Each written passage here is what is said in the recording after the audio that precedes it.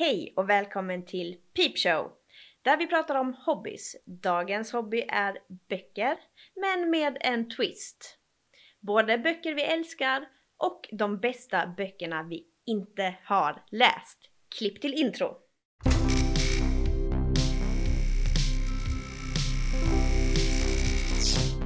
Dagens gäst är Louise!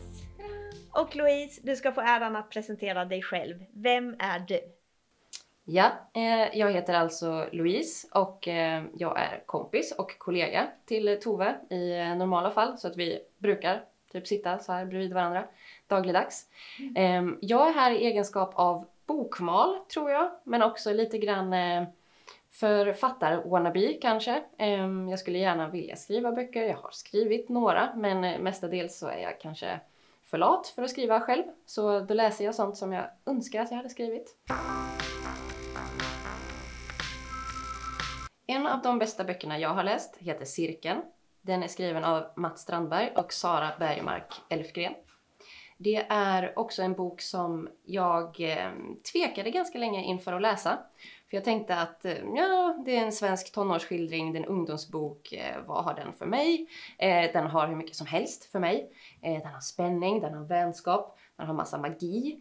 Um, och framförallt så tycker jag att de lyckas väldigt väl med att skildra de här ungdomarna som hade kunnat vara stereotyper i att eh, det är mobboffret, det är plugghästen, det är den snygga tjejen eh, och så vidare. Men det faller inte över i att bli jätteklichéartat utan istället så är det väldigt djupa karaktärer som man känner jättemycket med. Så att eh, absolut en favoritbok och också såklart en favorittrilogi. Och det är häxor. Ja, förlåt. Det är ju själva grejen. Det är häxor. Häxor gillar vi. Då går vi över till en annan sorts häxa. Moderskap. Den här boken hittade jag på en second hand butik och jag föll för den fina lila färgen. Eh, den handlar just om det. En kvinna i mellan 30 och 40 år som inte har barn men som eh, Antyder du att det här hade kunnat handla om oss? Ja, den passar till varenda person med en livmoder borde läsa den här. Eh, man, man kommer upp i en viss ålder och man ställer sig frågor som barn, bra eller dåligt? Eh, så jag rekommenderar den varmt. Den, den tar upp de här funderingarna som man tänkte att nej men det här är nog bara jag i mitt huvud. Men det är så himla skönt att, att läsa det. Mm. Då ska vi se. Eh, lite naket också så här i TV. Eh, Tjänarinnans berättelse Handmaid's Tale på engelska av Margaret Atwood. Um, jag såg tv-serien först. Det kanske är det vanligaste idag. Och uh, kände att jag ville få lite mer kött på benen så jag läste boken och jag föll uh, pladask. Det är uh, ett fantastiskt språk, uh, jätteintressant dramaturgi, väldigt intressant. Man kan säga så här att tjänarinnans berättelse utger sig rent formatmässigt för att vara en en dokumentär berättelse kan man säga. Från då ett totalitärt religiöst land som tidigare kanske var USA. Mm. Och det som också är kul med Margaret Atwood är ju att hon har sagt om den här boken att hon har egentligen inte hittat på någonting utan mm. alla de här ganska skrämmande sakerna som händer den här personen, det är sånt som någon gång har hänt någonstans i världen. Mm. Eh, exempelvis eh, i Iran eller eh, andra platser. En bok som jag tycker väldigt mycket om det är Meningen med hela skiten av Nina Åkestam. Hon började som übercool reklammänniska och nu är hon forskare på Handelshögskolan i Stockholm. Påstår du att vi är übercoola? Nej, nej. Ehm, jag hade länge eh, jag hade lite svårt att ta mig an den här boken. Eh, återigen var det en sånt här jag hittade på second hand butik och bara tänkte, ah, men jag, oh, jag har velat läsa den länge. Men jag har varit så rädd för Nina Åkestam. Jag har tyckt att hon har varit så snygg och så cool. Och du vet så här alltså, mm, så PR-smart. Så att jag, jag har inte vågat helt enkelt. Och så läste jag den och den var verkligen så här du vet en kompis som man vill ha med sig och den har så himla bra tips och hon har ett väldigt rakt, eh, ärligt och eh, bra språk, liksom rak kommunikation. Eh, så jag, jag önskar jag hade den när jag var 20. Nu läste jag den kanske när jag var 30.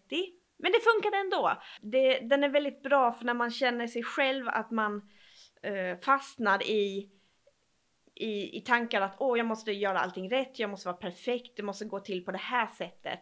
Så är det ganska roligt att följa någon som till synes eh, har gått en spikrak väg i sin karriär, hur, hur det egentligen har sett ut inuti den här personen. Hon är fortfarande snygg och smart men hon är också väldigt, väldigt eh, eh, relaterbar.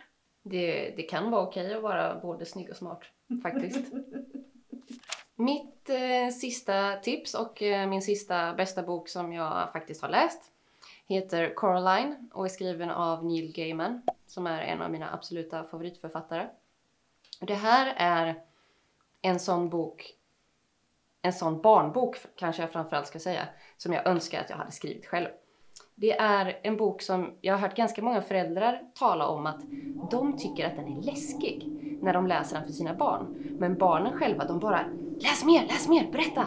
Det kan liksom ramla ut ögon ur folk och sådär och de bara ah, berätta mer. Ehm, så att det är en berättelse om en flicka som heter Coraline som ska rädda sina föräldrar från ondskefulla makter som dyker upp bakom en dörr hemma i deras nya hus. Um, rekommenderas varmt både för eh, vuxna och barn faktiskt. Det är en fin berättelse. Min sista bok som jag faktiskt har läst eh, det är en bok som heter Ett litet liv. Och jag gillar mörka böcker, jag gillar mörka serier och mörka filmer. Och det här sa jag till en kollega idag. Liksom, ge mig någonting som är väldigt, väldigt mörkt. Och hon sa bara Hold my bear. Eh, och tipsade om den här boken. Och den är, alltså den är ganska mörk. Säg att man, man, man kommer eh, fram till hit kanske. Här är den mörk. Här är den totalt jävla mörk. Alltså här blir det så himla brutalt så att jag, när jag hade läst klart den, jag bara satt upp och ner och, och visste inte vad jag skulle ta mig till. Alltså... Jag eh, kommer nog inte våga läsa den, tyvärr. Och eh, den är ju jättetjock också. Min första bästa bok som jag inte har läst eh, heter då Sagan om den stora datamaskinen. Och jag tror inte att det är en barnbok utan den är för vuxna. Den är skriven av en pseudonym som heter Olof Johannesson. Så att i själva verket så heter han då alltså inte det, författaren, utan han heter eh, Hannes Alven, tror jag. Jag ska titta här i mina små anteckningar. Ja. Eh, Hannes Alven var en eh, fysiker och nobelpristagare från Sverige som på 60-talet gav ut den här eh, framtidssatiren. Mm. Eh, så att den här har jag hittat, eh, precis som Tove har köpt böcker på second hand, så hittade jag den här i ett antikvariat i Karlshamn en gång i tiden mm. och tänkte Gisses vad spännande och vad häftigt eh, att skriva en saga om då eh, den stora datamaskinen som eh, så vitt jag har förstått så handlar det om att datorerna tar över världen för de är mycket mer rationella och smarta än människorna. Så de kan fatta bättre beslut än människorna. Och eh, mm, det är kanske en eh, sådär um, korrekt framtidsvision, vad vet jag, eftersom att jag har inte läst den. Men eh, jag ska göra det. En bok som jag väldigt gärna vill läsa det är Ett hjärtslitande verk av förbluffande genialitet av Dave Eggers. Eh, jag kollade upp lite på Wikipedia vad hans genre är och följande dyker upp. Postmodern literature. Post postmodern. New sincerity.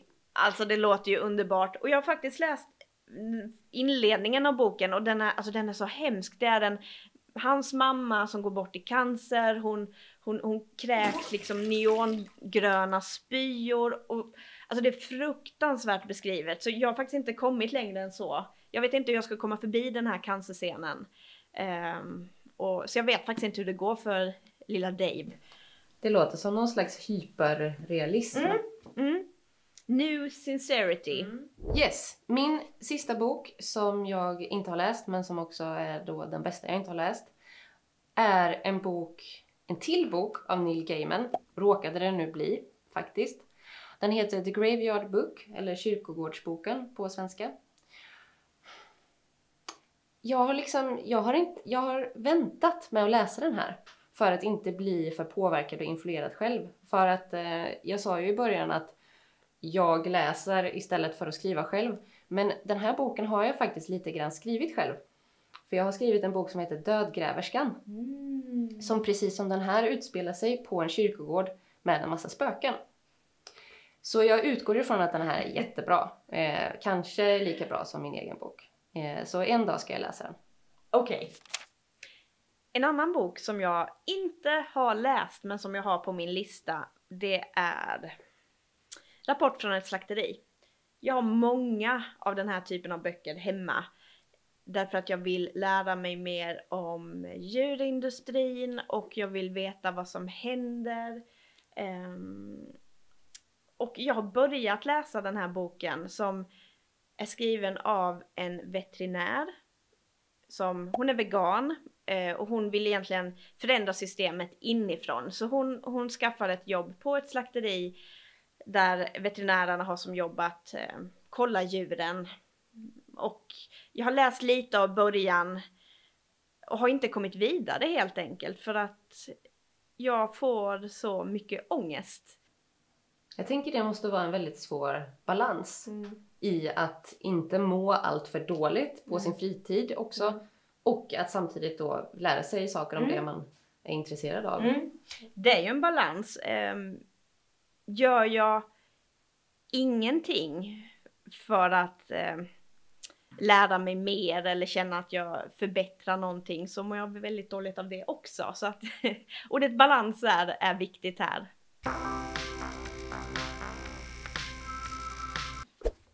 Vi älskar expeditionen. Den är så bra. Ja, det, det handlar ju om André-expeditionen, om det är någon som har missat det. Har ni missat den, köp den, låna den, stjäl den med en gång. Det, är- ja, men, det är ju den bästa boken som finns. Den är dokumentär. Man får eh, följa med in i Beas besatthet och man blir själv lika besatt. Och önskar att man inte hade köpt en pocketbok så att man liksom hade Åh. den här liksom tjocka fina Ah. lyxutgåvan Och där man liksom verkligen kan liksom fatta och nagelfara alla de här små, små detaljerna. För att, Mm. och den innehåller massa foton också. Den, den kostar ju en slant, men jag tror det är värt det för jag har läst den här lilla pocketboken tre gånger kanske. Varför är du besatt av André-expeditionen? För att det är en sån här, en sån berättelse som är så sjukt absurd att det är ingen som hade kunnat hitta på den eller fantisera fram den. Alltså, det, det finns ju ingenting med expeditionen som är rimligt. Utan, och allt går fel och allting är så himla konstigt. Så det är väl det som fascinerar, hur man liksom... Alltså, det går ju inte ens att börja med alla märkliga grejer de gör. Man kan ju nämna packlistan, de har ju med sig eh, uppslagsböcker, de har med sig champagne, de har ju med sig allt möjligt till På sin eh, polarexpedition. på sin polarexpedition. Eh, jag tycker att visst, den heter expeditionen min kärlekshistoria. Det är ju lite ett litet kärleksinslag i den också, men framförallt är det ju en beskrivning av tre män som verkligen sitter i skiten. Och, och man, första gången man läser den så, så har man ändå åh, åh, det är så fint, man hoppas det, här, man hoppas det kommer lösa sig. Sen, man vet ju att det är baserat på en riktig expedition och att det nog inte gick så bra. Det är inget lyckligt slut. och eh, den Åk ser- inte på en expedition. Nej, nej, nej, nej. Åk inte på expedition eh, utan, utan mobil och utan Gore-Tex-kläder. Alltså det, det är ingen bra idé, gör det inte. Ehm, Lämna champagnen hemma. lämna champagnen hemma. Det där var det första och det bästa avsnittet av Peep Show hittills. Stort tack till Louise och vi är tillbaks nästa gång med en ny spännande hobby. Hejdå!